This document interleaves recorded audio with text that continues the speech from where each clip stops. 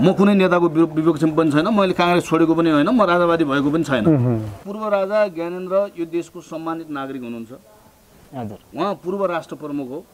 जसरी पूर्व प्रधानमन्त्रीलाई चाहिँ चाहिँ सम्मान गरेर राखिन्छ उहाँ पूर्व राष्ट्र प्रमुख भएको हुनाले पूर्व प्रधानमन्त्री हो भन्दा अहिले पनि जाने एउटा जाने पूर्व राष्ट्र प्रमुखको नाताले उहाँको हैसियत माथि छ। त्यस कारणले उहाँलाई चाहिँ यो देशको दुश्मन हो भनेर कसैले चाहिँ सोध्छ भने त्योभन्दा पूर्वाग्रही विचार केही पनि हुन सक्दैन। विप्लवले चाहिँ राजनीतिक रूपमा चाहिँ फरक मत राखेर अगाडि बढ्नुभएको छ। उहाँको एक हजारभन्दा बढी मान्छेहरू चाहिँ जेलमा चाहिँ थुनिएका छन्। तर विप्लव त चाहिँ मरेका पनि छैनन् समातिएका पनि छैनन्। त्यो विचार पनि जीवित छ नि त। हामीले चाहिँ सारङ्गीको धुन बेच्न सकिन्छ। संसारभरि हाम्रो चाहिँ नेवारी खाजा जाने बेच्न सकिन्छ। हामी संसारभरि दौरा सुरुवालको व्यापार गर्न सक्छौँ हामी संसारभरि खुकुरीको व्यापार गर्न सक्छौँ हामी चाहिँ समृद्ध बन्न सक्छौँ हाम्रो विचारमा हामी अगाडि बढ्दाखेरि हाम्रो जडीबुटीलाई प्रशोधन गर्ने र त्यसलाई मूल नीति बनाउने जाने दिशामा हामी गयौँ भने यो देशमा जाने लाखौँ रोजगारीहरू सिर्जना हुनेछ। गाउँ गाउँमा जनताहरू चाहिँ गाँजा खुल्यो भने यसबाट जाने आम्दानी लिन पाउला हाम्रो जाने रोजीरोटी चल्ला भन्ने उद्देश्यले जाने उहाँहरू बस्नुभएको छ। गाँजा जाने पचासै हजार ठाउँमा चाहिँ पचासौँ हजार ठाउँमा प्रयोग हुन्छ त्यसबाट लाखौँ रोजगारी सिर्जना हुन्छ विभिन्न उद्योगहरू सिर्जना हुनसक्छ गाँजा चाहिँ लागु औषध भनेर हिजो भनिएको छ तर लागु औषध होइन प्रमाणित भइसक्यो। यो जुन भूमिभित्र विकास भएको सभ्यता संस्कृति दर्शन धर्म विचारहरू व्यवसायहरू जे पनि विद्याहरू छन् ती सबैजना यो भित्र जन्म भएका छन्। अमेरिकामा जाने खुकुरीको जाने पसल थापेर जाने एउटा नेपालीले पसल थाप्नु पर्यो। अब जाने त्यहाँ गएर जाने मोमोको जाने रेस्टुरेन्ट जाने त्यहाँ खुल्नु पर्यो। त्यहाँ गएर जाने हाम्रो नेवारी खाजा सेटको रेस्टुरेन्ट बन्नु खुल्नु पर्यो। त्यहाँ दौरा सुरुवालका पसलहरू त्यहाँ खुल्नु पर्यो। त्यहाँ जाने नेपाली चाड जाने तिजदेखि लिएर सम्पूर्ण तिहारदेखि लिएर सबै चाडपर्व मनाउनु संसारका सबै मान्छेले मनाउने वातावरण हामीले सिर्जना गर्न सक्नु पर्यो। दर्शकबिन नमस्कार। तपाईँ यति बेला क्रिएटिभ खबर अनलाइन टेलिभिजन हेर्दै हुनुहुन्छ। क्रिएटिभ खबर अनलाइन टेलिभिजनमा आज हामीले देशको पछिल्लो राजनैतिक विषयवस्तुमा आधारित रहेर देशमा धार्मिक कुराहरूदेखि लिएर हरेक विषयवस्तुमा कुराकानी गर्नको लागि नेपाल विद्यार्थी सङ्घका पूर्व केन्द्रीय उपाध्यक्ष देशकै प्रतिष्ठित एक युवा हस्ती र विशेष गरी विश्व हिन्दू युवा सङ्घका केन्द्रीय संयोजक आदरणीय व्यक्तित्व ऋषिकेशजङ शाहसँग आज हामीले फरक विषयवस्तुमा कुराकानी गर्नको लागि क्रिएटिभ खबरको यो बसाइमा उपस्थित भएका छौँ। सुरु गरौँ उहाँसँगको कुराकानी। दाई यहाँलाई क्रिएटिभ खबरमा स्वागत छ। धन्यवाद भाइ। के छ अहिले? विशेष गरी एउटा कुरा उठान गरिहालौँ। विश्व हिन्दू युवा सङ्घ अथवा महासङ्घ अलिक कन्फ्युज भयो। यहाँले पक्कै पनि जानकारी गराइदिनु हुनेछ यो अहिले एउटा वृहत लक्ष्यका साथ अगाडि बढिरहेका छौँ भनेर यहाँले विभिन्न फेसबुकहरूको माध्यमबाट र विभिन्न अनलाइन युट्युब च्यानलहरूमा यहाँहरूले विशेष गरी विभिन्न धार्मिक अन्तर्वार्ताहरू लिनुभएको छ। यो विषयमा अलिकति जान्न चाहन्छौँ। हाम्रा सम्पूर्ण दर्शकहरूलाई एकपल्ट जानकारी गराइदिनुहोस् न। धन्यवाद कुलवाजी एकदमै राम्रो कुरा तपाईँले सोध्नुभयो। विश्व हिन्दू महासङ्घ भनेको के हो? विश्व हिन्दू युवा सङ्घ भनेको के हो भन्ने विषयमा तपाईँले देशलाई जानकारी गराइदिनका लागि जाने जिज्ञासा राख्नुभएको। छ। म यहाँलाई के निवेदन गर्न चाहन्छु भने राजा वीरेन्द्र जीवित हुँदै गर्दाखेरि पञ्चायतकालमा दुई हजार सैँतिस सालमा वीरगन्जमा विश्व हिन्दू महासङ्घको स्थापना भएको थियो। यसलाई स्थापना गर्नुपर्छ भनेर विश्वभरिका हिन्दूहरूको एउटा ठुलो सम्मेलन गरेर तत्कालीन चाहिँ राष्ट्रगुरु योगी नरहरिनाथले वीरगन्जमा कार्यक्रम आयोजना गरेर राजा वीरेन्द्रलाई प्रमुख अतिथि बनाएर नेपालमा विश्व हिन्दू महासङ्घ भन्ने एउटा संस्थाको चाहिँ गठन गर्नुभएको थियो।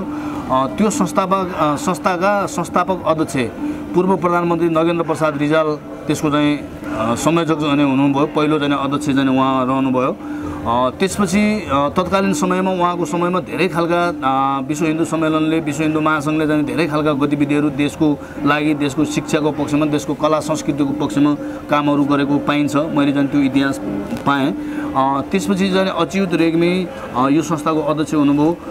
त्यसपछि गएर दामोदर शर्मा त्यसै गरेर अहिले चाहिँ डाक्टर रामचन्द्र अधिकारी यो संस्थाको अध्यक्ष हुनुहुन्छ। अर्कोतिर एकजना जाने विभाजित भएर जाने अन्तर्राष्ट्रिय सम्मेलनको रूपमा बाँसबारीमा पनि एउटा जाने विश्व हिन्दू महासङ्घ भन्ने रहेको छ र उहाँहरूको बिचमा एकीकरण गर्ने जाने प्रयास अन्तिम रूपमा जाने चलिरहेको छ। यो समग्र नेपालका हिन्दू धर्मावलम्बीहरूलाई अब यो जाने पूर्वीय दर्शन पक्षधरहरूलाई पनि यो खुसीको खबर पनि हो।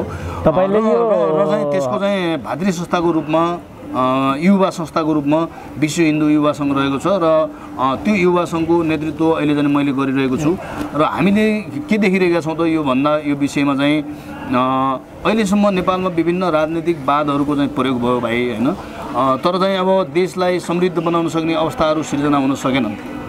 त्यस कारणले हाम्रा चाहिँ नेताहरू सँगसँगै प्रजातन्त्रका आन्दोलन प्रजातान्त्रिक आन्दोलन र हिजोको चाहिँ धार्मिक आन्दोलनलाई एउटा चाहिँ मिक्सअप गरेर चाहिँ नेपालमा लैजान सकियो भने हाम्रो मौलिकता त्यहाँभित्र रहेछ शासन प्रणाली प्रजातान्त्रिक तरिकाले चलाउने र मुद्दाहरूलाई चाहिँ हाम्रो मौलिकता भन्ने कुरा जुन योगी नरेन्द्रनाथले जाने त्यो बाटो देखाउनु भएको थियो हाम्रो समृद्धि हाम्रो मौलिकताभित्र छ भन्ने जुन बाटो योगी नरेन्द्रनाथले देखाउनु भएको थियो उहाँले चाहिँ संस्कृत विश्वविद्यालय महेन्द्र संस्कृत विश्वविद्यालय दाङमा चाहिँ ठुलो कोटी होम गरेर जमिनदारहरूसँग चन्दा उठाएर चाहिँ त्यो स्थापना गर्ने वातावरण चाहिँ उहाँले गर्नुभएको थियो र उहाँले के भन्नुभएको रहेछ भने यदि हामीले पूर्वी यो वैदिक देश हो यो वैदिक देशभित्र जुन शिक्षा हिजो थियो त्यो शिक्षालाई नेपालले अङ्गीकार गर्न सकेको खण्डमा नेपाल विश्वको शक्तिशाली राष्ट्र बन्नेछ भन्ने कुरा उहाँले राख्नुभएको रहेछ।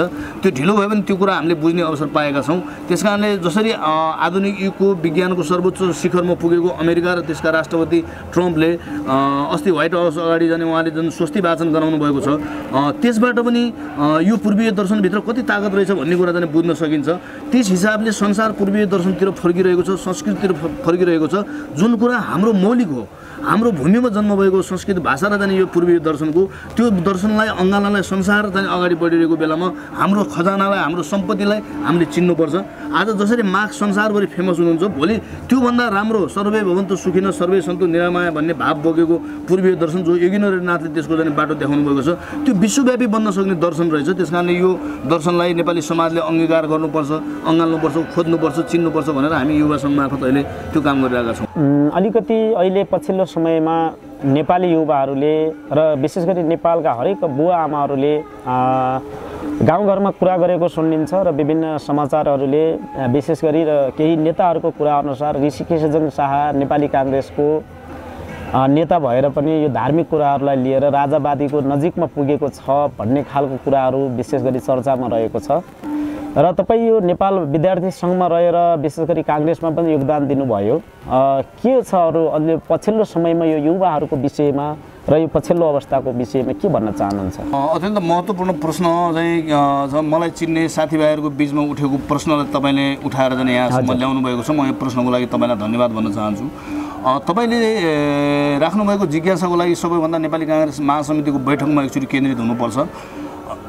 नेपाली काङ्ग्रेस महासमितिको बैठकमा सात सय चौतिसजनाले नेपालमा हिन्दू राष्ट्र आवश्यक छ भनेर चाहिँ हस्ताक्षर गर्नुभएको थियो महासमिति सदस्यज्यूहरूले त्यसमध्येमा त्यो हस्ताक्षर गर्ने पक्षमा म पनि थिएँ। मैले पनि त्यो हस्ताक्षर गरेको थिएँ। र त्यही मुद्दालाई उठाएर नेपाली काङ्ग्रेसले यो विचारलाई चाहिँ अङ्गीकार गर्नुपर्छ। नेपाली जनताको भावना हो यो। नेपाली जनताको भावनालाई अङ्गीकार गरेर नेपाली काङ्ग्रेस अगाडि बढ्नुपर्छ भन्ने जाने त्यो महासमिति बैठकको आदेश थियो। त्यही आदेशअनुसार नेपाली काङ्ग्रेसभित्र त्यो मतलाई स्थापित गर्नलाई म अगाडि बढ्या हो। म कुनै नेताको विपक्षमा पनि छैन मैले काङ्ग्रेस छोडेको पनि होइन म राजावादी भएको पनि छैन। र म नेपाली काङ्ग्रेसभित्र छु। यो देशको राष्ट्रियता अब चाहिँ ज- ज- सुरक्षा गर्नुपर्छ। हाम्रो मौलिकताभित्र हाम्रो नेपालको समृद्धि छ यो कुरालाई नेपाली काङ्ग्रेसले बुझ्नुपर्छ। नेपालका जाने वामपन्थी आन्दोलनले पनि यो कुरालाई बुझ्नुपर्छ। र योगी नरेन्द्रनाथलाई सबै पक्षले राष्ट्रगुरुको रूपमा सम्मान गरेर हामी जान सक्यौँ भने यो देशको समृद्धि सम्भव छ। त्यस कारणले कुनै पनि आरोप प्रत्यारोप भन्दा पनि मैले उठाउन खोजिरहेका मुद्दाहरूको विषयमा छलफल गर्नलाई म आम नेपाली जनता दाजुभाइ दिदीबहिनीहरूलाई आग्रह गर्न चाहन्छु। हामीले चाहिँ सारङ्गीको धुन बेच्न सकिन्छ। संसारभरि हाम्रो जाने नेवारी खाजा जाने बेच्न सकिन्छ। हामी संसारभरि दौरा सुरुवालको व्यापार गर्न सक्छौँ। हामी संसारभरि खुकुरीको व्यापार गर्न सक्छौँ। हामी जाने समृद्ध बन्न सक्छौँ। हाम्रो विचारमा हामी अगाडि बढ्दाखेरि हाम्रो जडीबुटीलाई प्रशोधन गर्ने र त्यसलाई मूल नीति बनाउने जाने दिशामा हामी गयौँ भने यो देशमा जाने लाखौँ रोजगारीहरू सिर्जना हुनेछ।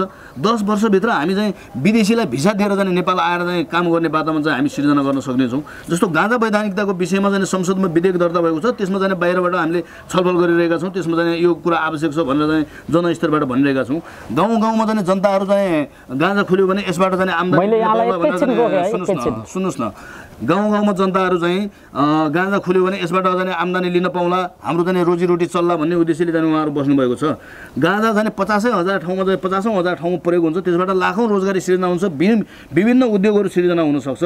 भनेपछि त्यस कारणले चाहिँ नेपालमा रोजगारी दिलाउनको लागि चाहिँ चाहिँ यो चाहिँ हाम्रो आयुर्वेदको बेस रहेछ गाँजा भनेको। क्यान्सरमा पनि त्यसको जाने प्रयोग हुन्छ विभिन्न ठाउँमा जाने त्यो प्रयोग हुने फाइदाजनक औषधि रहेछ। त्यस कारण यसलाई वैधानिक बनाएर जाँदाखेरि देशको कल्याण हुनसक्छ भनेर पनि हामीले भनिरहेका छौँ। यी सबै कुराहरू के भित्र छ त भन्दाखेरि पूर्वीय दर्शनभित्र छ। त्यो बाटो कसले देखाएको थियो त भन्दाखेरि योगी नरेन्द्रनाथले देखाउनु भएको थियो। र नेपालका सबै राजनीतिक दलले यो विचारलाई अँगाले अँगालेर जाँदाखेरि दस वर्षमा नेपाल परिवर्तनको दिशामा जाने अगाडि बढ्छ। र संसारभरि सबभन्दा शक्तिशाली राष्ट्र बन्न सक्ने ताकत नेपालमा अहिले पनि छ। यो विचारलाई हामीले अङ्गीकार गर्नुपर्छ। हिजो विश्वभरि जाने गुरु राष्ट्रको रूपमा नेपाल चिनिन्छ। त्यस यो कुरा गाउँ गाउँमा भाइहरू जस्तो मान्छेहरूले जाने गाउँ गाउँमा बुझाउनु पऱ्यो र यो कुरालाई जाने बुझायो भनेपछि हामीले जाने एउटा देशको जाने राष्ट्रिय नीति तयार गर्न सक्छौँ। यो जाने हाम्रो छिमेकी मुलुक समेतलाई जस्तो भारत नेपाल र जाने चिन जापान जस्ता जाने हाम्रा जाने छिमेकी मुलुकहरूलाई पनि हामी एउटै जाने मित्रताको बन्धनमा जाने यही पूर्वीय दर्शनबाट हामी बाँध्न सक्छौँ। संसारभरि जाने हामी यसरी एउटा ठुलो शक्ति बनाएर जाने हामी फैलिन सक्छौँ। यस्तो खालको कुरा छ कुलबहादुर भाइ त्यही भएर चाहिँ म यसमा लागिरहेको हो। यही कुरा तपाईँलाई मैले भन्न चाहेँ। देशमा गाँजा खेती प्रतिबन्धित छ र गाँजा अवैधानिक ठानिएको छ र गाँजाको यस्तो अवस्थामा हाम्रो नेपालीपनको बुझाइमा तपाईँलाई तपाईँले अहिले आएर यो गाँजाको विषयमा यहाँले अभियान थाल्नु भएको छ। यस्तो अवस्थामा अभियान सफल होला त? अब हेर्नुहोस् अब अभियान सफल हुन्छ कि हुँदैन भन्ने कुरा त नेपाली जनताले के चाहन्छन् भन्ने कुरामा निर्भर पर्छ। गाँजाबाट फाइदा लिन सकिन्छ सयौँ उद्योगहरू खुल्न सक्छ लाखौँ रोजगारीहरू सिर्जना हुनसक्छ धेरै मान्छेहरूले जाने आफ्नो जीवन निर्वाह गर्न सक्ने वातावरण बन्न सक्छ गाँजाबाट भनेपछि गाँजा किन नखोल्ने? होइन? गाँजा चाहिँ चाहिँ लागु औषध भनेर हिजो भनिएको छ तर लागु औषध होइन प्रमाणित भइसक्यो। पन्ध्रवटा लाग्ने चिजहरू मध्येमा मान्छेको शरीरलाई सबभन्दा खराब गर्ने चाहिँ चिज भने रक्सी रहेछ। दुई नम्बरमा चाहिँ चुरोट रहेछ। तिन नम्बरमा चाहिँ त्यो चाहिँ अफिम रहेछ। बाह्र नम्बरमा गाँजा पर्छ। गाँजा खाएर संसारमा एकजना मान्छे पनि मरेको छैन अहिलेसम्म कुनै रिपोर्ट छैन। तर रक्सी खाएर चाहिँ हरेक वर्ष पचहत्तर लाख मान्छेहरू मर्छ। सबैले गाँजा खानुपर्छ भन्ने हाम्रो मान्यता होइन। नखाने मान्छेले सकभर चाहिँ खानु हुँदैन। तर रक्सी खाने मान्छे छ भने गाँजा जाने खा बरु उमेर बढ्छ भन्नलाई जाने कसैले लाज मान्नु हुँदैन। यो औषधि हो। तर गाँजा जाने सेवन गर्न राम्रो होइन भन्ने कुरा जाने म हामीले चाहिँ भनिरहेका छौँ। र जनताले त्यो कुरा आवाज गर्छन् भने जनताको आवश्यकतालाई महसुस गरेर नेपालका राजनीतिक दलहरूले र सरकारले यो कुरालाई यथासग्र खोल्ने कुरामा लाग्नुपर्छ। प्रहरी प्रशासनले जसरी विभिन्न जाने यो गाँजाको नाममा विभिन्न गरेर गरिरहेको छ त्यो कुरालाई चाहिँ रोकिनुपर्छ। म नेपालको प्रहरी प्रशासनलाई पनि म अनुरोध गर्न चाहन्छु। आज संसारभरि जाने गाँजा एउटा उद्योगको रूपमा जाने विकास भइरहेको छ। सन् दुई हजार पच्चिसभित्र बाह्र खरब अमेरिकी डलरको चाहिँ गाँजाको विश्वव्यापी रूपमा जाने यसको बजार जाने चलिरहेको छ। त्यसको त्यत्रो जाने व्यापार हुँदैछ। भनेपछि हामीले पनि त्यसमा सहभागी हुने अवसर चाहिँ हामीले खोज्नु पऱ्यो विदेशबाट जाने डलर हाम्रो देशमा कसरी भित्राउने त जाने गाँजाको माध्यमबाट हामीले त्यो कुरा जाने सोच्नुपर्छ भन्ने कुरा चाहिँ मलाई लाग्छ। यो पूर्वीय दर्शन भनेको एकपल्ट प्रष्ट पारिदिनुहोस् न। विशेष गरी हामी त हिन्दू धर्म मान्ने विशेष गरी हामी त हिन्दू दर दर्शन भनौँ गाउँले भाषामा भन्नुपर्दा होइन? अब यो विशेष गरी हामी सम्पूर्ण हिन्दू धर्ममा छौँ हामीले भगवान्लाई मानिरहेका छौँ यो कुरा त सबैलाई थाहा छ। तर यस्तो अवस्थामा तपाईँलाई यो पूर्वीय दर्शन भनेर यसको चर्चा पर्चा परिचर्चा गरेर यहाँ हिँडिरहनु भएको छ। एकपल्ट हाम्रो युट्युब च्यानल हेरेर बस्नुभएका सम्पूर्ण दर्शकहरूलाई यहाँले यस विषयमा पनि प्रष्ट पारिदिनुहोस् न। एकदम राम्रो प्रश्न गर्नुभयो। अब चाहिँ तपाईँले कसरी बुझ्नुहोस् भने जसरी तपाईँ र मेरो टाउको छ नि। त्यसै गरी जाने एउटा जाने कुनै कुर कुकुरको बिरालाको पनि टाउको छ माछाको पनि टाउको छ रुखको पनि टाउको हुन्छ रुखको त्यो टाउको आकार फरक होला तर टाउको हुन्छ। भनेपछि पृथ्वीको पनि टाउको होला नि त कहाँ आउँछ पृथ्वीको टाउको भन्ने कुनै कुरा चाहिँ आउँछ। पृथ्वीको टाउको भने कैलाश पर्वत रहेछ। हेर्नुहोस् होइन त्यहाँभन्दा मुनि चाहिँ मान सरोवर रहेको छ। मान सरोवरको पूर्वतिरबाट जाने एउटा जाने ब्रह्मपुत्र भन्ने नदी बगेर चाहिँ इन्डिया जान्छ। अर्को चाहिँ उत्तर हुँदै पूर्व पश्चिमबाट चाहिँ पाकिस्तान भएर जाने आउने नदी एउटा जाने छ जसलाई सिन्धु नदी भनिन्छ। त्यो दुईवटा नदीको बिचमा त्यो कैलाश पर्वतबाट यसरी चाहिँ दुईवटा नदीको बिचमा जुन सभ्यताको विकास भयो त्यो भनेको पूर्वीय दर्शन त्यो भनेको चाहिँ हिन्दू धर्म हो होइन? त्यस गरी जसरी चाहिँ आज चाहिँ तपाईँले चाहिँ यो चाहिँ यहाँ शिवलिङ्गहरू देखिरहनु भएको छ जहाँ पनि हेर्नु सबै ठाउँमा चाहिँ यो शिवलिङ्ग उत्तरतिर फर्काएर किन राखिएको हुन्छ यसको पनि अर्थ छ। किनभने किन राखियो त भन्दाखेरि कैलाश उत्तरतिर छ त्यस कारणले चाहिँ त्यो कैलाशलाई गराएर चाहिँ त्यसलाई जाने सम्मान गरेर जाने उत्तरतिर जाने शिवलिङ्ग लिङ्ग राखिएको छ। होइन? यस्ता कुराकानी छन् त्यस कारण यो भित्र जन्मिएको यो सभ्यताभित्र संसारमा जति पनि विश्वविद्यालयमा अहिले पढाइहरू भइरहेका छन् ती सबै पढाइहरूको जन्म ती विधाहरूको जाने विषयहरूको जन्म जाने यहीँ भएको थियो सङ्गीतको जन्म यहीँ भएको थियो युद्धशास्त्रको जन्म यहीँ भएको थियो गणितको जन्म यहीँ भएको थियो खगोलको जन्म यहीँ भएको थियो भूगोलको जन्म यहीँ भएको थियो गणितको जन्म यहीँ भएको थियो। संस्कृत भाषा संसारका सबै जाने सभ्यताहरूको जाने जननी हो त्यो भाषा यहीँ जन्मिएको थियो। त्यस कारण हामीसँग यत्रो कुरा हुँदाहुँदै यो कुरालाई चाहिँ अब परिस्थिति कस्तो आयो भने हामी टाई सुट लाएर अङ्ग्रेजी मात्रै सबै कुरा हो भनेर हिँडिरहेका छौँ।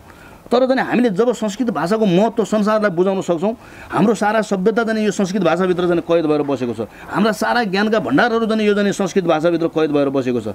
आज चाहिँ बाह्र कक्षासम्म चाहिँ हामीले चाहिँ विद्यार्थीहरूलाई पूर्वीय दर्शनको शिक्षा दिने संस्कृत शिक्षा दिने भयो भने त्यो संस्कृत शिक्षा र अङ्ग्रेजीसँगै पढेको विद्यार्थी जाने विश्वव्यापी रूपमा जाने टप विद्यार्थीको रूपमा जाने त्यो जन्मिन सक्छ। त्यस कारण यो यति धेरै जाने हामीलाई समृद्ध बनाउने सम्पूर्ण माध्यम भने पूर्वीय दर्शनमा छ। त्यस कारण यो पूर्वीय दर्शन भनेको जाने यो हो। यो जुन भूमिभित्र विकास भएको सभ्यता संस्कृति दर्शन धर्म विचारहरू व्यवसायहरू जे पनि विद्याहरू छन् ती सबैजना यो भित्र जन्म भएका छन्। संसारको गुरु राष्ट्र यो जाने गोरखनाथको मन्दिर भनेको चाहिँ के कस्तो रहेछ भने यो देश गोरखनाथको आशीर्वादबाट बनेको देश रहेछ। पछिल्लो पटक चाहिँ राजा पृथ्वीनारायण शाहले चाहिँ गोरखनाथको चाहिँ दर्शन पाउनुभएको थियो आशीर्वाद पाउनुभएको थियो। त्योभन्दा बाह्र सय वर्ष अगाडि जाने पन्ध्र सय वर्ष अगाडि जाने गोरखनाथले बाह्र वर्ष तपस्या गरेको यो स्थान हो। होइन? संसारका जाने उनान्सय करोड जाने राजा महाराजाहरू यहाँबाट जाने दीक्षित थिए हिजो। दीक्षित थिए र उनीहरूले चाहिँ यहाँबाट सल्लाह सुझाव लिएर संसारको शासन चलाउँदै त्यस्तो ठाउँ हो यो गोरखनाथ मन्दिर। भनेपछि यत्रो सभ्यतालाई यत्रो खजानालाई चाहिँ छोडेर हामी अङ्ग्रेजी मात्रै अँगालेर विदेशी विचारहरू अँगालेर यो देशको कल्याण हुन सक्दैन। यो देश संसारमा सबभन्दा धनी राष्ट्र र शक्तिशाली राष्ट्र बन्ने हो भने हाम्रो भूमिमा जन्मिएको विचारलाई संसारभरि चाहिँ त्यसबाट जाने शासन चल्ने जाने अवस्थामा हामीले पुर्याउनुपर्छ। त्यो हुन सक्यो भने नेपाल संसारको सबभन्दा शक्तिशाली राष्ट्रको रूपमा स्थापित हुनेछ। अनि यो पूर्वीय दर्शनको बारेमा अझै थप चर्चा परिचर्चा अनुसार सम्पूर्ण नेपालीहरूले बुझ्ने गरी एकपल्ट यस विषयमा फेरि भनिदिनुहोस् न थप भन्न छुटेका कुराहरूबाट। अब हामीले अहिलेसम्म राजनीति गाउँघरमा सबै कुरा राजनीति देखाएको छौँ तर राजनीति राजनीति मात्रै देख्यौँ राजनीति के हो भन्ने नै हामीले बुझेनौँ होइन?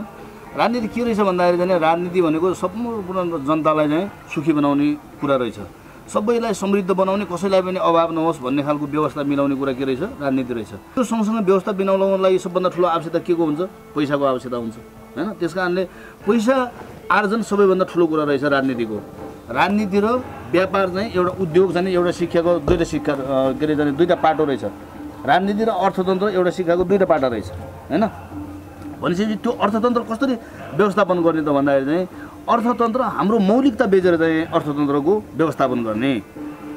किन त मौलिकता बेच्नु पऱ्यो त भन्दाखेरि चाहिँ आज हामी आविष्कारको क्षेत्रमा गयौँ भने अब आइफोन नेपालमा बनाउँछु भनेर सम्भव छ त। प्लेन नेपालमा बनाउँछु भनेर सम्भव छ त। हामीभन्दा त विदेशी राष्ट्रहरू धेरै अगाडि बढिसक्यो नि त्यो क्षेत्रमा। तर चाहिँ हामीसँग भएको कुरा के रहेछ त भन्दाखेरि चाहिँ संसारको सबभन्दा शक्तिशाली राष्ट्र चाहिँ अमेरिकाको राष्ट्रपतिले ट्रम्पले स्वस्ति भाषण गराउनु भयो नि त। भनेपछि त विज्ञानभन्दा ठुलो चिज त हामीसँग रहेछ नि त। हजुर। आध्यात्मवाद। त्यसमा त्यो हो हाम्रो कुरा त्यो हो त्यो कुरालाई चाहिँ हामीले चाहिँ अब हाम्रो जनशक्तिहरू त्यो कुरामा दक्ष जनशक्तिहरू चाहिँ हामीले उत्पादन गर्नु पऱ्यो भोलि चाहिँ संसारका चाहिँ सम्पूर्ण राष्ट्रहरूले चाहिँ राष्ट्र प्रमुखहरूले चाहिँ स्वस्ति शान्ति वाचन गराउने आफ्नो देशमा संसारका सम्पूर्ण चाहिँ नगरपालिकाका महानगरका चाहिँ मेयरहरूले चाहिँ स्वस्ति शान्ति वाचन गराउने। र त्यो स्वस्ति शान्ति वाचन गराउन जाने मान्छे चाहिँ विज्ञ चाहिँ को छ त भन्दाखेरि नेपाली हुनु पऱ्यो त्यहाँ गएर जाने हाम्रो जाने अब चाहिँ नगरपालिकामा या देशमा गएर जाने शान्ति स्वस्ति वाचन गराउन सक्ने जनशक्ति नेपालले संसारभरि पठाउनु पऱ्यो त्यो हाम्रो जाने संस्कृत पूर्वीय दर्शनबाट जाने त्यसलाई पोख्त बनाएर जाने हाम्रो नागरिकलाई त्यहाँ पठायो भने त्यसरी विदेशी पैसा नेपालमा आर्जन गर्न सकिन्छ। संसारमा हाम्रो नीतिलाई जाने त्यसरी लागू गर्न सकिन्छ। हाम्रो अब सभ्यता र संस्कृतिलाई त्यसरी लागू गर्न सकिन्छ। अब कुरा के बुझ्नु पऱ्यो भन्दाखेरि हिजोको दिनमा तरवारले बन्दुकले जाने सिमाना जितेर जाने देशको जाने आकार जाने सङ्ख्या ठुलो बनाइन्थ्यो। तर अब सिमाना त जाने अब अहिले बढाउन कसै कुनै पनि राष्ट्रले सक्दैन। संयुक्त राष्ट्र सङ्घ बनेको छ संसारको एउटा नीति नियम बनेको छ होइन? त्यस कारण अब कसरी अगाडि बढ्ने त भन्दाखेरि चाहिँ भाषा र सभ्यतालाई फैलाएर अगाडि बढ्ने हाम्रो सभ्यतालाई फैलाउँदै गर्दाखेरि चाहिँ त्यो सभ्यताभित्र चाहिँ तमाम ठाउँमा जाने उद्योगहरू जाने छन् व्यापारहरू छन् त्यो व्यापार जाने नेपालीहरूले गरेर जाने बस्ने। जस्तो अमेरिकामा जाने खुकुरीको जाने पसल थापेर जाने एउटा नेपालीले पसल थाप्नु पऱ्यो अब जाने त्यहाँ गएर जाने मोमोको रेस्टुरेन्ट जाने त्यहाँ खुल्नु पऱ्यो त्यहाँ गएर जाने हाम्रो नेवारी खाजा सेटको रेस्टुरेन्ट बन्नु खुल्नु पऱ्यो त्यहाँ दौरा सुरुवालका पसलहरू त्यहाँ खुल्नु पऱ्यो त्यहाँ जाने नेपाली चाड जाने तिजदेखि लिएर सम्पूर्ण तिहारदेखि लिएर सबै चाडपर्व मनाउँ संसारका सबै मान्छेले मनाउने वातावरण हामीले सिर्जना गर्न सक्नु पऱ्यो अरूलाई विदेशीहरूलाई जाने विदेश बसेकै नेपालीहरूले आफ्नो छिमेकीलाई बोलाएर त्यो वातावरण जाने सिर्जना गर्न सकिन्छ। त्यस कारणले अर्थतन्त्रलाई मजबुत बनाउनको लागि हामीले चाहिँ सहारा लिनुपर्ने चाहिँ जग भनेको के रहेछ त भन्दाखेरि विषय भनेको के रहेछ भन्दाखेरि पूर्वीय दर्शन रहेछ। जुन कुरा कसले देखाउनु भएको थियो भन्दाखेरि योगी नरनाथले देखाउनु भएको थियो। योगी नरनाथ को हुनुहुन्थ्यो भन्दाखेरि चाहिँ गोरखनाथको चाहिँ शिष्य हुनुहुन्थ्यो। गोरखनाथ को हुनुहुन्थ्यो भन्दाखेरि चाहिँ यो राष्ट्रको राष्ट्रदेव हुनुहुन्थ्यो। होइन? गोरखनाथ जाने राष्ट्रको देव हुनुहुन्थ्यो। अनि उहाँ जाने योग चाहिँ उहाँले जाने जन्माउनलाई महादेवले चाहिँ गोरखनाथको रूपमा चाहिँ आफ्नो अवतार लिनुभएको जाने छ। गोरखनाथ भनेको महादेवको जाने अवतार हो। उहाँले जाने संसारभरि योग जाने चाहिँ फैलाउने जाने जिम्मेवारी लिनुभएको थियो। त्यस कारणले त्यो अवतार भएको थियो। आज संसारले योगलाई उद्योग बनाइसक्यो। हाम्रो जाने भूमिमा जन्मेको योगको विषयमा हामीलाई थाहा नै छैन। अब जाने विश्वभरि जाने मजदुर बना- बनाएर पठाउने कि एकको शिक्षक बनाएर पठाउने? मजदुरले बढी पैसा कमाउन सक्ला कि एकको शिक्षकले बढी पैसा कमाउन सक्ला? त्यस कारणले यस्ता हरेक कुराहरू जाने हाम्रो देशमा जाने छन्। यो कुरालाई जाने हामीले समातेर विकास गर्न सकेको खण्डमा नेपालको समृद्धि र विकास सम्भव छ। त्यस कारणले यो पूर्वीय दर्शन अँगाल्नुपर्छ भन्ने मेरो निवेदन रहेको छ। हजुर। विशेष गरी अहिले पछिल्लो समयमा देशले यो लकडाउन त्यसै गरी कोरोना भाइरस अनि सलह विभिन्न कलहको कारणले देशले विभिन्न दुःखहरू पा पाउनु पर्यो र पछिल्लो समय जुन यो बाढी पहिरोहरू गइरहेको छ देशमा एउटा महासङ्कट उत्पन्न भइरहेको छ। नेपाली जनताहरूले कसरी बाँच्ने के गरेर खाने होइन? यस विषयमा पनि अलिकति कुराकानी हजुरले यस विषयमा पनि अलिकति यस विषयमा कुराकानी गरिदिनुहोस् न। यसलाई चाहिँ विश्वभरि महामारी भनिएको छ तर एउटा प्रश्न एकदम गम्भीर रूपले उठाउनु पर्ने विषय के छ भने जुन रोगको औषधि पत्ता लागेको छैन जुन रोगको औषधि पत्ता नलगाई अ, जाने कोरोनाबाट ग्रसित भएका बिरामीहरू अस्पताल थिए संसारभरि जाने अस्पताल भर्ना भएका थिए त्यसमध्येमा डेढ करोडभन्दा मान्छे बढी मान्छेहरू औषधि पत्ता नलाग्दै ठिक भएर घर गइसक्यो भनेपछि संसारमा सबैभन्दा कमजोर रोगको रूपमा यसको मृत्युदर रहेको छ जिरो पोइन्ट एक पर्सेन्ट रहेको छ। त्रिचालिस पर्सेन्ट त क्षयरोगको मात्रै चाहिँ मृत्युदर तर पनि मान्छे त मरिरहेका छन् न, सुन्नुहोस् न तपाईँ कुरा सुन्नुहोस् न। मरि त रहेका छन्। हिजो मान्छे मर्दैन थिए संसारमा। संसारमा चाहिँ एक दिनमा डेढ लाख मान्छेहरू मर्छन्। अनि सत्तरीजना मान्छे चाहिँ कोरोनाले चाहिँ मरेको सयजना मरेको भनेर गरेको छ। दुई हजारजना मान्छेले चाहिँ आत्महत्या गरेर मरिसक्यो। त्यसको हिसाब किताब तपाईँहरूले यो देशले गरेको छ? हिजो चाहिँ माओवादी विद्रोह चलेको बेला एक दिनमा तिन सय मान्छे मरेको पनि हामीले चाहिँ भोगेर सहेर आएको होइन। हिजो भूकम्प जाने त्यत्रो जाने जाने देश रूपमा जाने क्षति हुँदाखेरि हामी त्यसबाट उफ्रेर आएको होइन। छिमेकीले नाकाबन्दी लगाउँदाखेरि जाने हामी जाने बाँचेर आएको होइन। त्यस कारणले नेपाली भनेको जाने कस्तो जाने गोर्खाली भनेको जाने जात कस्तो हो त भन्दाखेरि हिजो विश्व युद्धमा चाहिँ हाम्रा जाने योद्धाहरूले जाने संसारमा खुकुरी चम्काएको हो कि होइन? विश्व विजेता हो कि होइन नेपाल भनेको? भनेपछि त्यस्तो देश यस्ता सङ्कटबाट चाहिँ तहस नहस हुँदैन। तर राज्यले जाने गलत दिशामा जाने कामहरू भइरहेको छ। देश खोल्नुपर्छ। व्यापार बिजनेसहरू हुन दिनुपर्छ। सिमाना नागाहरू जाने कडाइ गरिनु हुँदैन। र यो जाने जुन खालको जाने व्याख्या गरिएको छ यो कोरोना त्यस्तो घातक रोग होइन। त्यस कारणले गर्दाखेरि हाम्रो जाने जडीबुटीमा यसलाई जाने नियन्त्रण गर्न सक्ने तागत छ। हामीले जाने भान्सामा जुन खालको जाने जडीबुटीहरू सेवन गरिरहेका छौँ जुन जुन खालको आयुर्वेदिक ज्ञानहरू जाने हाम्रो पुर्खाबाट हाम्रो विरासतबाट हाम्रो संस्कृतिबाट आएको छ त्यसलाई हामीले सेवन गरिरहेका छौँ। त्यस कारणले जाने यो अ, महामारी जाने होइन। त्यस कारण यो कुरालाई बुझेर देशको अर्थतन्त्र तहस नहस भइसक्यो। त्यस कारण अब पूर्वीय दर्शनको चाहिँ सहारा लिएर पूर्वीय दर्शनलाई केन्द्रबिन्दु बनाएर नेपालको अर्थतन्त्रलाई अगाडि बढाउनुपर्छ नेपालको शिक्षा नीतिलाई अगाडि बढाउनुपर्छ नेपालको स्वास्थ्य नीतिलाई जाने अब त्यो किसिमले अगाडि बढाउनुपर्छ। स्वास्थ्य नीति मैले किन भन्न खोजेँ भने आज हामी चाहिँ पेट्रोकेमिकलबाट बनेको चाहिँ औषधि प्रयोग गरिरहेका छौँ। पेट्रोलियम पदार्थको बाई प्रोडक्ट हो यो चाहिँ अहिलेको औषधि।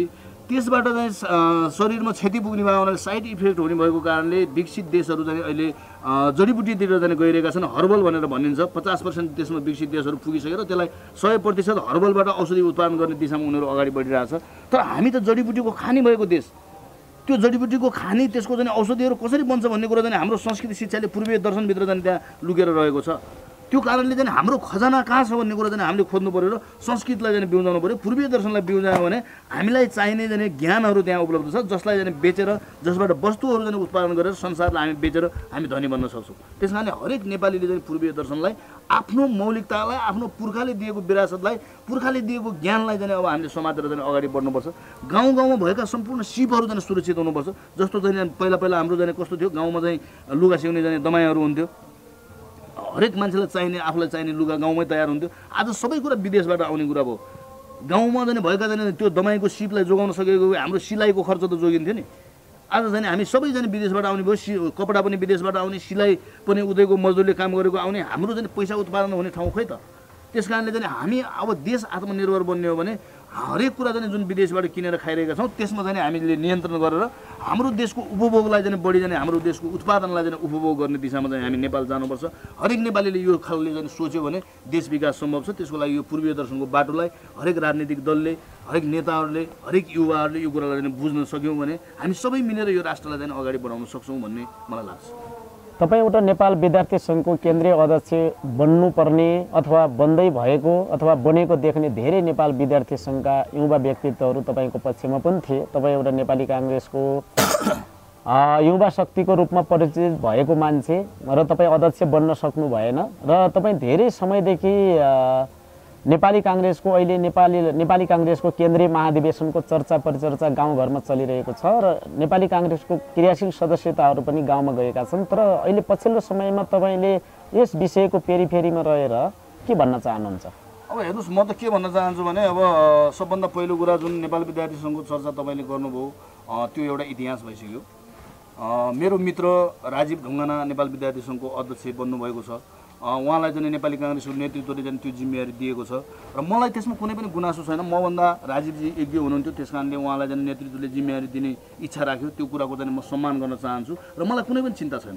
मलाई कुनै पनि दुःख छैन। म आज जुन क्षेत्रमा लागिरहेको छु म चाहिँ नेपाली काङ्ग्रेसको नेतृत्वलाई धन्यवाद भन्न चाहन्छु। उहाँहरूको कारणले गर्दाखेरि मैले चाहिँ यो खोज्ने अवसर प्राप्त गरेँ। र चाहिँ देशको समृद्धि यहाँ रहेछ भनेर देख्ने चाहिँ अवसर प्राप्त गरेँ। मैले चाहिँ मलाई नेताहरूले चाहिँ त्यहाँ गएर खोज भनेर चाहिँ भने जस्तो आशीर्वाद दिए जस्तो चाहिँ मलाई महसुस हुन्छ। त्यस कारणले म यो क्षेत्रमा लागिरहेको छु र वास्तवमा चाहिँ देश बनाउन सकिने पार्टी बनाउन सकिने हाम्रा जाने हरेक जनतालाई हाम्रो हरेक जाने दाजुभाइ दिदीबहिनी देशभित्र रहेकालाई जाने सबैको मुहारमा खुसी भर्न सक्ने क्षेत्र भनेको चाहिँ यही रहेछ। यसैको माध्यमबाट जाँदाखेरि सबै नेपालीले जाने समृद्ध बन्ने जाने धनी बन्न सक्ने अवसर आफ्ना आवश्यकताहरूलाई पुरा गर्न सक्ने अवसर सृजना यही क्षेत्रले गर्न सक्छ भन्ने मलाई लाग्छ। जस्तो जाने तपाईँ कला क्षेत्रको मान्छे हुनुहुन्छ। अब भोलि चाहिँ यो क्षेत्रमा चाहिँ यो क्षेत्रमा नेपाल क्षेत्रभित्रको चाहिँ कुनै कथा नेपाली जाने मान्छेले लेखेको चाहिँ कथा होस् नेपालको अँ, चाहिँ भूगोल होस् त्यसमा छायाङ्कन भएर चाहिँ एउटा चाहिँ विदेशी ठुलो चाहिँ फिल्म बनाउने ठुलो चाहिँ अरबौँ डलरको फिल्म बनाउने कम्पनीले नेपालमा छायाङ्कन गरेर फिल्म बनाओस् न। त्यो बनाउन सकेको दिन त छायाङ्कन यहाँ हुनेछ डलर लिएर चाहिँ उनीहरू यहाँ खर्च गरेर आफ्नो चाहिँ चाहिँ दृश्य छायाङ्कन गर्न आउनेछन्। हाम्रो कथा चाहिँ संसारभरि चाहिँ फैलिनेछ। त्यसपछि नेपालीप्रतिको गौरव पूर्वीय दर्शनप्रतिको गौरव चाहिँ बढ्नेछ। त्यस कारण यस्ता अनेकौँ सम्भावना चाहिँ यो जन क्षेत्रभित्र रहेका छन्। यो देशमा हामीले के बुझ्नु पऱ्यो त भन्दाखेरि चाहिँ व्यापार र राजनीति एउटा सिक्काको दुईवटा पाटा रहेछ भने देशले आम्दानी बढीभन्दा बढी कसरी गर्ने? त्यो कुरा चाहिँ खोजी हुनुपर्ने रहेछ। आविष्कार हामीले बेच्न सक्दैनौँ। हाम्रो मौलिकतालाई चाहिँ हामीले बेच्न सक्ने क्षेत्र भनेको यही रहेछ।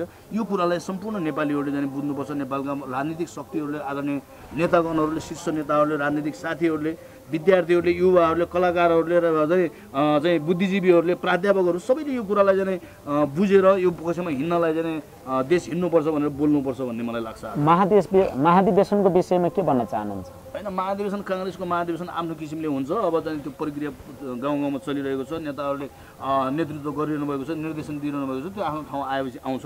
तर अब देशमा नीति चाहिँ के लागू गर्ने भन्ने कुरा चाहिँ त्यो अब काङ्ग्रेसको मा महाधिवेशन भन्दा पनि महत्त्वपूर्ण कुरा के हो त भन्दाखेरि जनताको जीवन स्तरलाई माथि कसरी उठाउन सकिन्छ त्यो नीति चाहिँ के हो भनेर चाहिँ देशले पहिचान गर्नुपर्छ। अब चाहिँ एमाले भित्रको झगडा काङ्ग्रेसभित्रको झगडा त्यो चाहिँ देशको रुचिको विषय होइन। देशको जनताको रुचिको विषय के त भन्दाखेरि जनताको जीवनस्तर माथि मा- माथि कसरी उठ्ने। हाम्रो जीवनस्तर कसले माथि उठाइदिन्छ भन्ने जाने जनताको खोजीको विषय हो चाहनाको विषय हो। त्यो चाहनालाई राजनीतिले पुरा गर्नुपर्छ। त्यो बाटो भनेको चाहिँ यो बाटो हो। त्यस कारणले सबै राजनीतिक दलले यो बाटोलाई अँगाल्नुपर्छ भन्ने चाहिँ मेरो अनुरोध आजको विषयवस्तुको हामी अन्तिम अन्तिम चरणमा छौँ। विशेष गरी आजको बसाइमा हामीले ऋषिकेशचन्द्र शाहका विभिन्न विचारहरू र उहाँले अहिले पछिल्लो विषयमा विभिन्न अधि अभियानहरू थाल्नु भएको छ। सोही विषयवस्तुमा आधारित रहेर विभिन्न कुराकानी गरिरहेका छौँ। र विशेष गरी अहिले पछिल्लो समयमा यहाँले जुन पूर्वीय दर्शन पूर्वीय दर्शन भनेर यहाँ निरन्तर रूपमा लागिरहनु भएको छ यस कारणले तपाईँहरूलाई राजावादी विशेष गरी पूर्व राजा ज्ञानेन्द्र शाहले चाहिँ थालिएको अभियान अभियान जस्तो पनि गाउँघरमा बुझ्नु भएको छ सम्पूर्ण दर्शकहरूले सम्पूर्ण आमा बुवाहरूले। यस विषयमा पनि गाउँघरका सम्पूर्ण आमा बुवाहरूले बुझ्ने भाषामा एकपल्ट प्रश्न पारिदिनुहोस् न। हेर्नुहोस् अब पहिलो कुरा त तपाईँले चाहिँ पूर्व राजासँग ज्ञानेन्द्रसँग कसरी जोड्नुभयो त्यो त तपाईँहरूको चाहिँ विवेकको कुरा हो तपाईँको चाहिँ त्यो ल्यागतको विषय पनि हो होइन? तर म के भन्न चाहन्छु भने पूर्व राजा ज्ञानेन्द्र यो देशको सम्मानित नागरिक हुनुहुन्छ। हजुर। उहाँ पूर्व राष्ट्र प्रमुख हो। जसरी पूर्व प्रधानमन्त्रीलाई अँ, चाहिँ सम्मान गरेर राखिन्छ उहाँ पूर्व राष्ट्र प्रमुख भएको हुनाले पूर्व प्रधानमन्त्रीभन्दा अहिले पनि जाने एउटा जाने पूर्व राष्ट्र प्रमुखको नाताले उहाँको हैसियत माथि छ। त्यस कारणले उहाँलाई चाहिँ यो देशको दुश्मन हो भनेर कसैले चाहिँ सोध्छ भने त्योभन्दा पूर्वाग्रही विचार केही पनि हुन सक्दैन। हजुर हजुर। दलहरू चाहिँ अहिलेको चाहिँ राजनीतिक राज्य सत्ता सञ्चालन गर्ने संयन्त्र भनेको चाहिँ दलहरू हुन्। र अब कुरा के हुन्छ त भन्दाखेरि चाहिँ सम्पूर्ण देशको खुसी केमा हुनसक्छ। सम्पूर्ण मान्छे जस्तो चाहिँ विप्लवले चाहिँ राजनीतिक रूपमा चाहिँ फरक मत राखेर अगाडि बढ्नुभएको छ। उहाँको एक हजारभन्दा बढी मान्छेहरू चाहिँ जेलमा चाहिँ थुनिएका छन्। तर विप्लव त चाहिँ मरेका पनि छैनन् समातिएका पनि छैनन्। त्यो विचार पनि जीवित छ नि त। उहाँहरूसँग चाहिँ हिजो चाहिँ माओवादी आन्दोलनबाट आएको चाहिँ सेना सैन्य शक्ति र हतियारको शक्ति छ भन्ने चर्चा पनि छ। होइन? त्यो शक्तिलाई मिलाइएन भने भोलि नेपालको जाने राजनीति शान्तिपूर्ण तरिकाले अगाडि बढ्न सक्छ त। त्यस कारणले चाहिँ उहाँलाई पनि त चाहिँ कुनै न कुनै रूपले यो नेपालको जाने राजनीतिको मूलधारमा स्पेस त दिनु पऱ्यो नि त। उहाँको कुरा के हो राज्यले उहाँसँग वार्ता गर्नु पऱ्यो नि त। होइन? भोलि जाने अब देश अगाडि बढ्न खोज्ला अहिले कोभिडबाट निस्किने बित्तिकै भोलि विप्लवले बन्दुक पड्काउन थाल्नुभयो भने। अनि यो देशमा शान्ति त आएन यो त्यसको प्रभाव त हामी सबै नेपाली जनतालाई पर्छ नि त। त्यस कारणले गर्दाखेरि चाहिँ अहिले राजनीति गरिरहेका सबै शक्तिहरू मात्रै सबै कुरा हो भन्ने कुराले जानु हुँदैन। यो देश सबैको साझा हो त्यस कारणले राष्ट्रिय एकताको आवश्यकता छ। धर्मको धार्मिक एकताको चाहिँ आवश्यकता छ जातीय एकताको चाहिँ यो यो देशलाई चाहिँ आवश्यकता छ। त्यस कारणले चाहिँ यो दिशाले जानको लागि जस्तो चाहिँ सर्वे भवन्तु सुखिन सर्वे सन्तु निरामाया भन्ने चाहिँ जुन पूर्वीय दर्शनले कल्पना गरेको विषय छ मान्छेहरू मात्रै होइन। यो संसारमा रहेका सम्पूर्ण चराचर जगतहरू चाहिँ सबै खुसी हुनुपर्छ सबैले बाँच्न पाउनुपर्छ भन्ने मान्यता राखेको हाम्रो पूर्वीय दर्शनले त्यो कुरालाई महत्त्वलाई बुझ्नु परेर राष्ट्रलाई एक बनाउने कुरामा सबैजना सबै शक्तिहरू सबै राजनीतिक शक्तिहरू सामाजिक शक्तिहरू बौद्धिक शक्तिहरू प्राध्यापकहरू बुद्धिजीवीहरू राजनीतिक दलहरू सबै धार्मिक क्षेत्रहरू चाहिँ यसमा यो विषयमा चाहिँ त्यसरी अँ, सहमति भएर अगाडि बढ्नुपर्छ यसलाई सबैले महसुस गर्नुपर्छ भन्ने लाग्छ कुलबाजी व्यस्त हुँदा हुँदै पनि हामीलाई यहाँसम्म आएर विशेष समय उपलब्ध गराइदिनु भयो। यसको लागि धेरै धेरै धन्यवाद। र जाँदा जाँदै यहाँले भन्न छुटाउनु भएका केही कुराहरू छन् भने एकपल्ट हाम्रा सम्पूर्ण दर्शकहरूलाई जानकारी गराइदिनुहोस् न। धन्यवाद कुलबाजी तपाईँसँग धेरै पछि भेट भयो। अब एउटा कलाकारसँग मैले आफ्नो भावना साट्ने मौका पनि पाएँ। र म अन्तिममा जाँदा जाँदै यो देशका सम्पूर्ण युवाहरू प्राध्यापकहरू राजनीतिक दलहरू अग्रज नेताहरू सबैलाई जाने युवाहरू विशेष गरी विद्यार्थीहरू जाने हाई स्कुलमा पढिरहेका विद्यार्थी साथीहरू कलेजमा पढिरहेका विद्यार्थी साथीहरू विदेशमा रहनुभएका जाने सम्पूर्ण युवा साथीहरू योग्य साथीहरू म तपाईँहरू सबैलाई के भन्न निवेदन गर्न चाहन्छु भने हाम्रो धर्म संस्कृतिभित्र हाम्रो जाने सभ्यताभित्र हाम्रो जाने समृद्धि लुकेको रहेछ। यो कुरालाई जाने हामीले जाने पहिचान गर्नुपर्छ र यो कुरालाई बढीभन्दा बढी संसारमा जाने फैलाउन कसरी सकिन्छ र त्यसबाट कसरी आर्जन गर्न सकिन्छ? विदेशी मुद्रा नेपालमा कसरी आर्जन गर्न सकिन्छ? हामी सबैको लक्ष्य त्यो हुनुपर्दो रहेछ।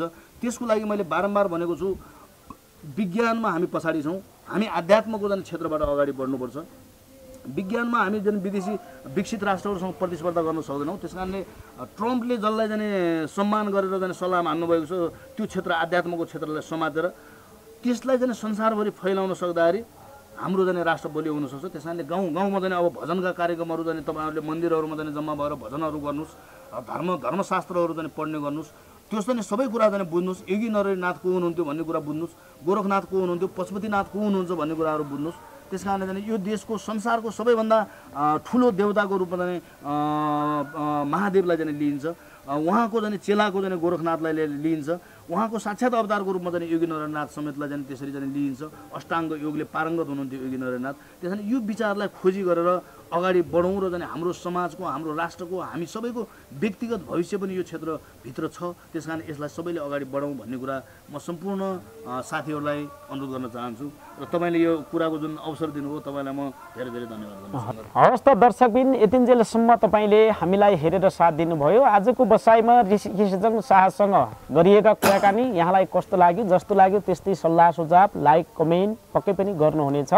र हामीलाई कहाँ कहाँबाट हेर्दै हुनुहुन्छ पक्कै पनि हौसला स्वरूप हामीलाई कमेन्टहरू गरिदिनु होला क्रिएटिभ खबर युट्युब च्यानल यहाँले विशेष गरी हेरेर साथ दिइरहनुहुनेछ भन्ने आशयका साथ